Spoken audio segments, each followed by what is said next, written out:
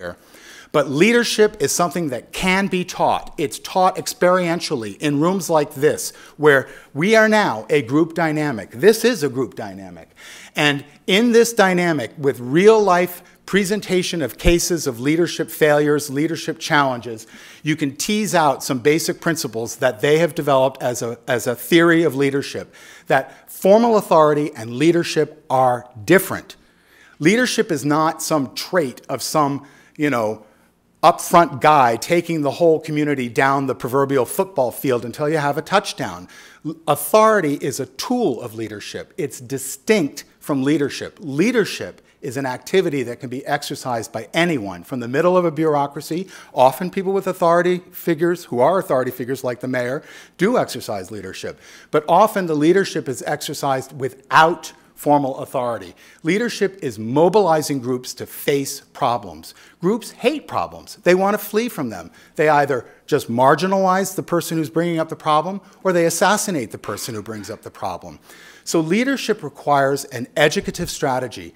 Leadership, you need to constantly intervene in that dynamic to uh, focus attention on problematic realities. You need to identify the adaptive challenge you're facing. Not, you know, green buildings and integrated design, changing people's entire understanding of the value of the building, changing people's understanding of what you invest in with capital dollars and when you get that return on investment, changing people's understanding of that. That's not just some technical fix. You just can't tell people to design buildings differently. That's a very slow process of really examining your values and really having people face the facts that they need to appreciate, as John outlined so eloquently, that buildings are consuming our resources in ways that are just unacceptable. We really need to change. We all need to undergo an adaptive change to appreciate that we need to value buildings differently.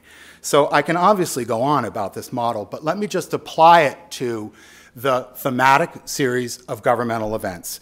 So our Earth Day Green Building charrette was an environmental intervention, leadership without authority.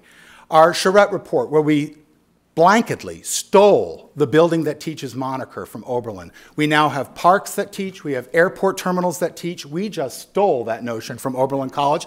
And I couldn't be more thrilled because it really is the most powerful way to get people engaged in understanding that developing a capital asset like a building is an incredible opportunity not only to build something that you learn in, but to build something that you learn from. It's a very powerful, engaging metaphor. So, our groundbreaking and dedication that was strengthening the needed holding environment. You need to have something that holds people together while you're undergoing this really dis uncomfortable disequilibrium of change. Change is uncomfortable. People resist it, they push back against it, they either shut you up or kill you. Um, so we dedicated the building. We had an economics of high performance green building policy panel, obviously at the green building, at the building that teaches. But it was co hosted by the Greater Boston Real Estate Board, the very conservative 7,500 member network representing the most conservative attitudes towards real estate development.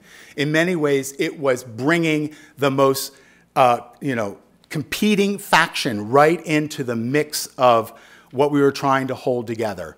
And um, uh, the leadership model calls that intervening cross-factionally. Bring the faction that's really pushing against the economic message with the concerns of the um, uh, I mean, the environmental message with the concerns of the economic development implications of building green. And then the, at that event, the mayor, we were able to get external funding, which was, I would say, the most entrepreneurial aspect of the kind of work I do. I can't cost the mayor any money in this. We pay for policemen and sanding ball fields. We don't pay for policy development. So I got significant grants from local foundations. Based on the success of the real building, I said, look, we have this this building that teaches, and it's going to teach the entire community what to do. And here's how we're going to do it. We're going to have a stakeholder task force made up of high level representatives of each uh, representative faction around that circle of work. You have the environmentalists, you have the economic development people in the guise of bankers who make the loans, uh, real estate investment trusts. We had unions, the people that build the buildings, the program managers. Obviously, we had the designers and the engineers. We had all the people involved in the dynamic of a uh, building construction project learn from this real project. We had built a real green building. We had the pain of integrated design, the timing of ordering the materials that made it green. We had the experience of engineers and architects talking to each other early so that we built a geothermal heat pump and didn't build a backup furnace. That's a real integrated design uh, moment that informed the agenda of this year-long citywide task force. And at the end of that task force in November of 2004, one week after the Red Sox won the World Series for the first time in 87 years, right in front of the green monster in Boston, we announced green building standards. We are turning Beantown into Greentown, and most of my job is advertising. It's coming up with slogans and and uh, brands like our Boston Green Brick, which we unfolded at the Green Monster, blah, blah, blah. And so here we are, you know, attaching green building to the green monster to the most winning moment in the history of Boston. And the mayor announced a three-year implementation plan. Change is painful. You need to allow adaptive challenges to ripen. You, once you have an educative strategy that's beginning to work, you need to respect the pain of change. You need to allow people to learn on their own. What's the right thing to do here? You need to really respect that, you know, you're asking them to really change the entire way their loyalty-based teams in the past where they dealt out the HVAC contract to their mother's cousin and the uh, brick contract to their best friend. That's, and they built buildings. They got things done. Here we're asking them to step back and do all this kind of new process, integrated design, transparency, all this kind of stuff.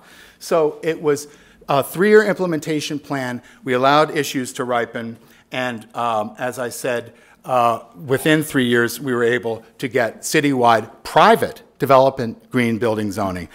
This grew into a climate action plan. I'll just show you that we have one. I just got a solar program. It's really exciting. And now the mayor put our green collar job workforce development program front and center in his latest Chamber of Commerce speech. So I'll leave you with this message.